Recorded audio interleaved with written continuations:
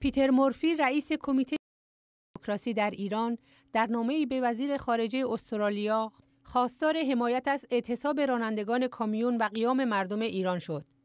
پیتر مورفی در این نامه با اشاره به قیام مردم کازرون می نویسد با وجود استفاده گسترده از سرکوب رژیم قیام دموکراتیک مردمی در ایران در قالب‌های متنوع در سراسر کشور ادامه دارد.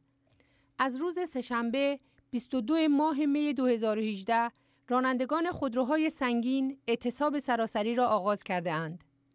ما به رانندگان کامیون ها که اعتصاب خود را برای به دست آوردن حداقل حقوق شروع کرده اند درود میفرستیم و از همه اتحادیه های بین المللی به خصوص اتحادیه ها در استرالیا می خواهیم که از حقوق خانواده های کارگران ایرانی حمایت کنند. مردم ایران مصمم هستند که از راه حل صلحآمیز و دموکراتیک برای به دست آوردن یک دموکراسی پایدار بر رژیم دیکتاتوری وحشی مذهبی پیروز شوند.